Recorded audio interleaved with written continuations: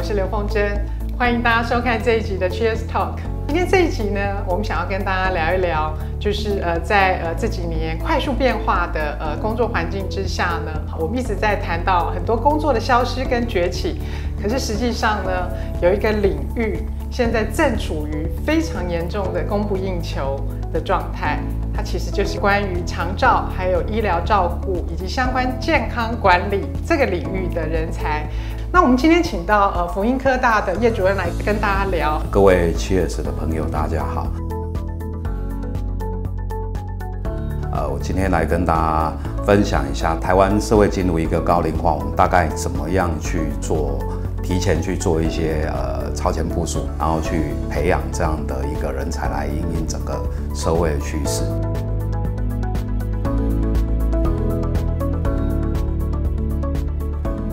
台湾其实这个老化速度其实是全世界第一啊，当然就因应这样的一个一个环境跟人才需求，各个学校哦，或者是呃整个健康产业都往这边去偏移。你出到社会之后，你还能不能因应那时候的一个社会需求？那时候的社会需求是不是还是一样的一个人才的短缺？对啊，如果还是人才的短缺，我们如何有其他的这些相关的这个，不管它是服务照顾的体系，或者说我们如何让它普及到偏向能够这个社区化？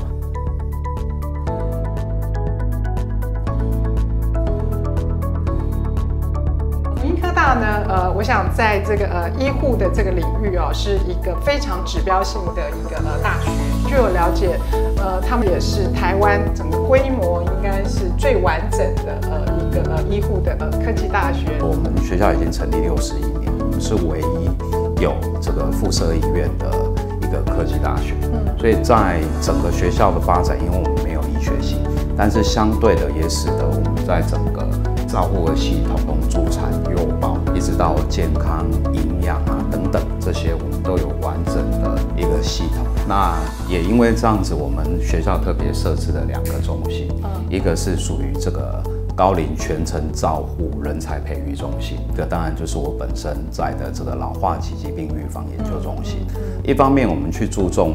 啊、呃整个人才的培育，让学生能够实做实际的操作，然后要跟产官学实际的去接轨。我们也要对社会开放，去帮忙训练不足的人才。所以学校设置了这样一个由专业的老师或者我们从医院找来这样的人才来帮忙。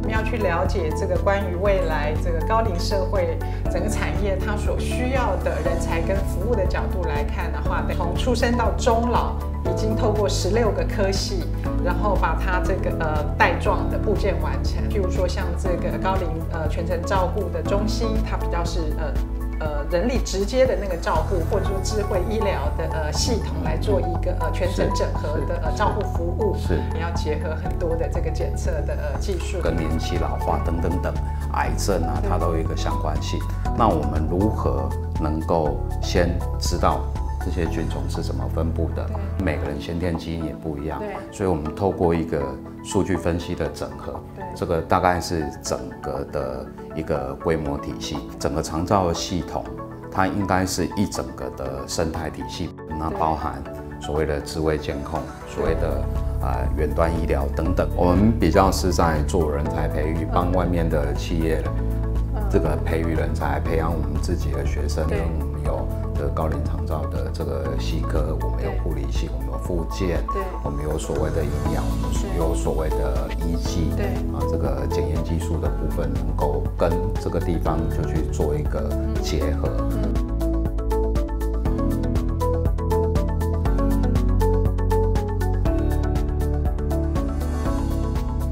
像我们在做肠道健康，我们可能需要就是医检的人才，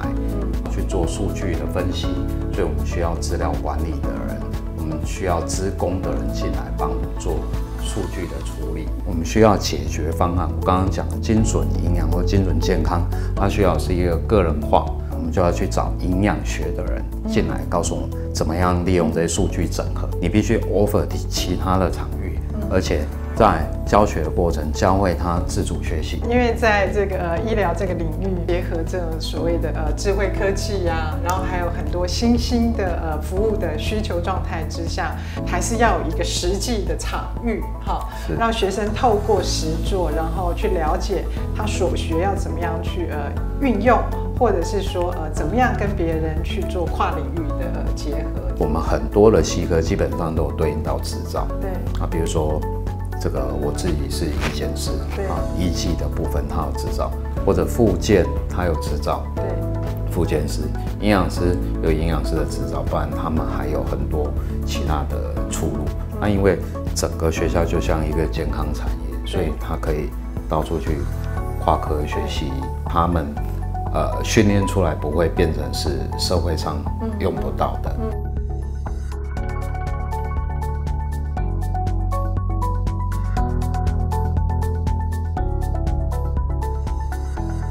大学啦，医学中心，或者是那个上市贵公司，我想，我想这一块我们